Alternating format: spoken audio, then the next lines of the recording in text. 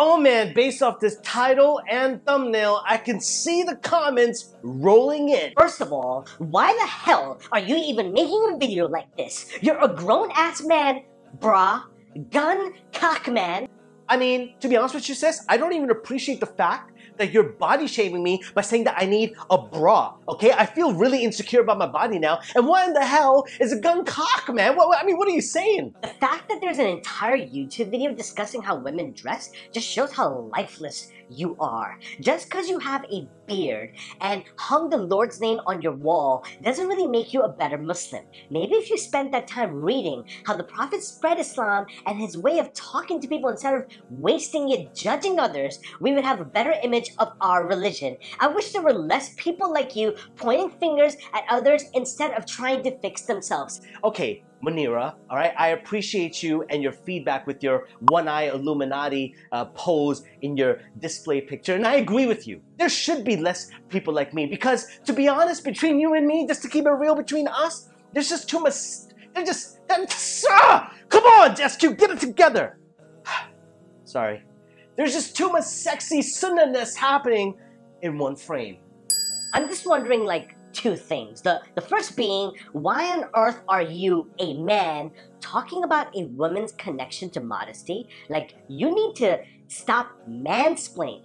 Second off, why on earth are you backbiting on social media? You can't just pretend you're a good Muslim if you're not doing things like this in public. I mean, you're right. You're absolutely right. How the hell? So stupid! I didn't realize I was mansplaining and abusing my male privilege, nay, my Muslim male privilege. And you're right, sister, you're right. I need to stop acting like I'm some good, perfect Muslim, and I'm done with acting and living this double life. It's about that time. Way of Life SQ, keeping it a hundred. Assalamu alaikum, welcome back to my YouTube channel. And man oh man, that was a long intro. I am just so blessed, humbled, and grateful to Allah that He sent you to this video today. If you haven't gathered from the thumbnail and the title, this video will be about the hijabi YouTuber named Amena, who is super popular on the digital space.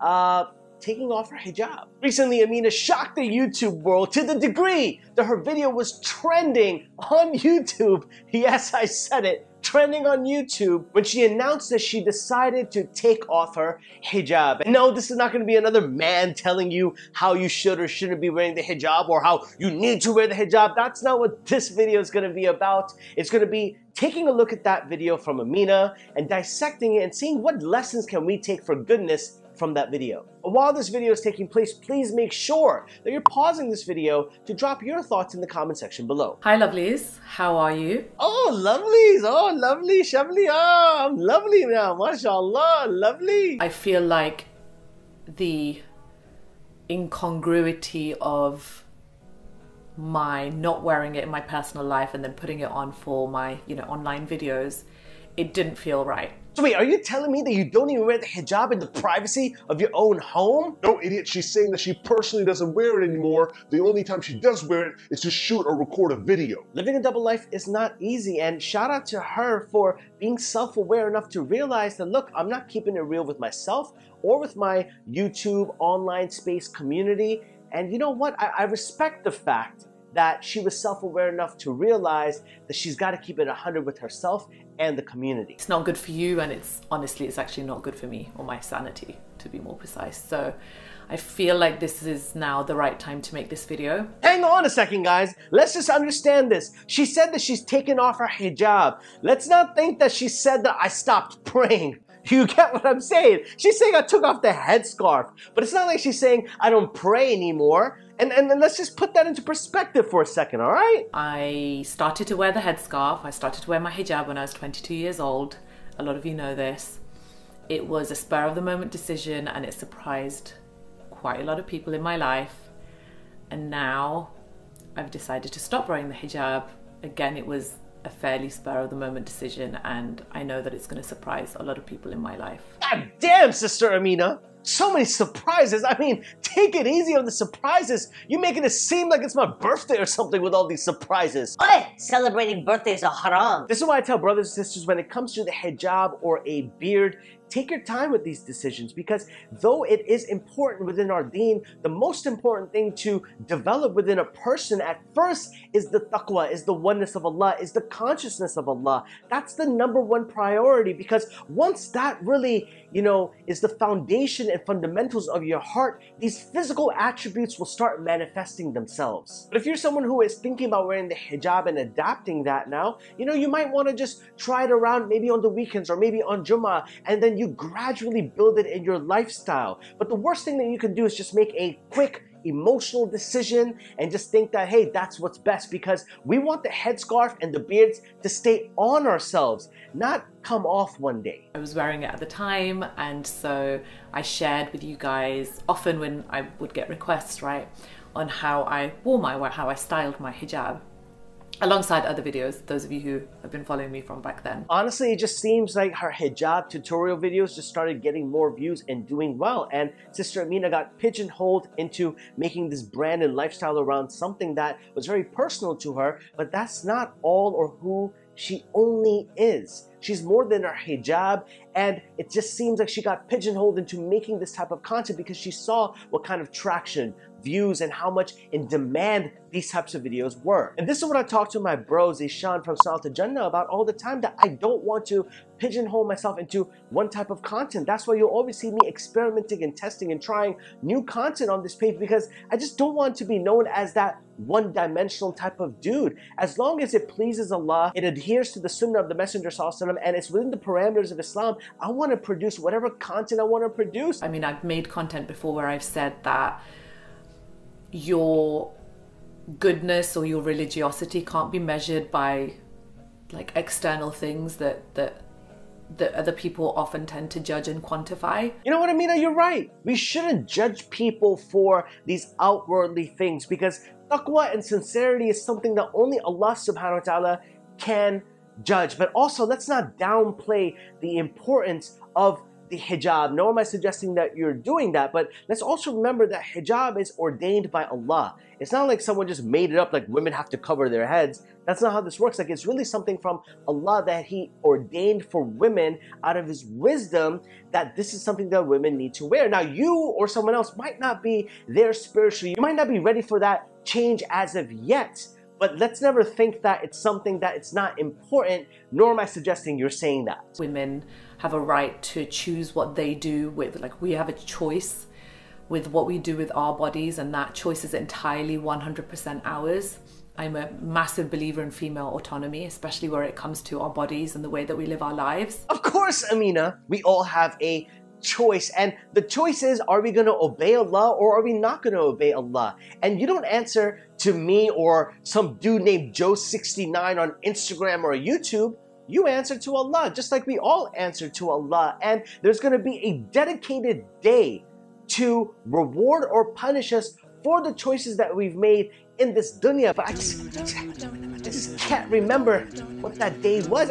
It's important. I know it's important, but I just can't. I can't. I just can't figure out what that day is. But it'll come to me later. I promise. Plus, I know that words can be misunderstood and misconstrued very easily, especially on the internet. And I'm sure even this video will be, but um, I'm willing to take that risk because I feel like you guys, I feel like I owe that to you. Hell yeah, Sister Amena. You owe me. You remember those 10 pounds you borrowed from me to get that doner kebab and that Lucozade? I'm still waiting for those 10 pounds. Apologize if this video is upsetting to any of you, or if I've gone about it the wrong way, or I've used the wrong words, or You know what, Amena? Now that you mention it, it is kind of upsetting. It is upsetting that you didn't go about it the right way. And the right way was to include that plant on your right a little bit more in the frame. It's annoying me. But seriously, Amena, you definitely did go about it the right way. I mean, it's such an original video to just sit down in front of the camera, no cuts,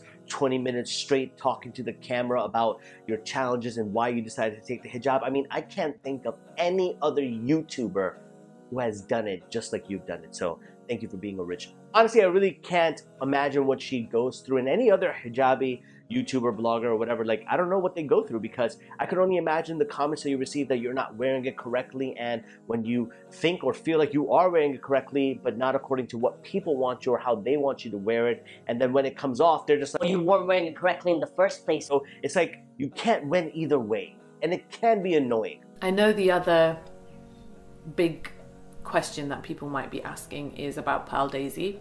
Yes, yes, sister. I mean, exactly. Yes, tell me about Pearl Daisy. That's exactly why I clicked this video, man. Like, I was just, I, I saw the thumbnail and the title, and my first thought was like, hey, what's gonna happen to our hijab empire, Pearl Daisy, now that she's not herself wearing the hijab? That's exactly why I clicked the video.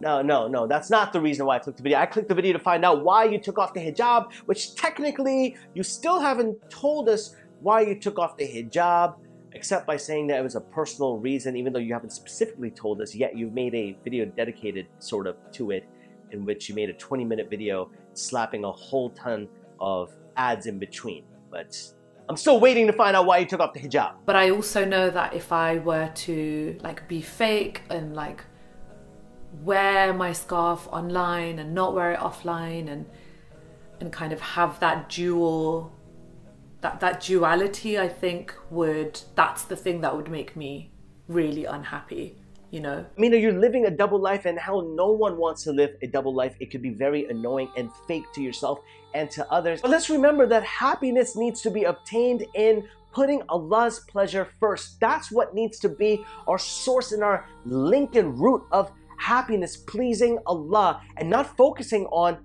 pleasing ourselves. Because pleasing Allah is what needs to give us pleasure. But I have news for you.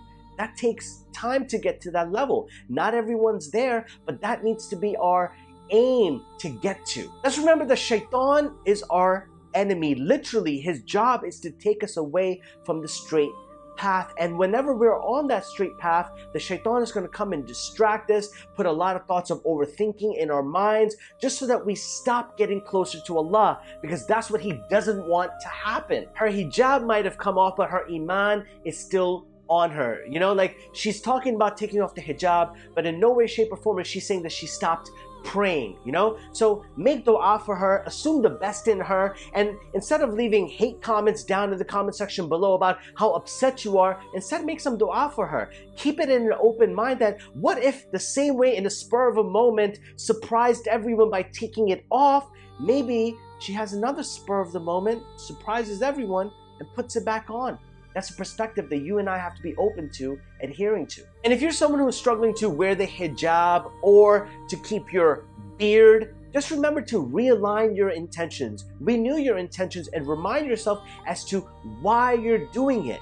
And if you are struggling with these things, remember the reward for you, particularly for this, is much higher than the person who doesn't struggle to wear the hijab or have the beard. And in the wise words of Mufti Menk, Every woman who is listening to me now, you are on a certain level. Maintain that level if it is within the frame of the Sharia with an intention of getting to the next one. And strive towards getting to the next one.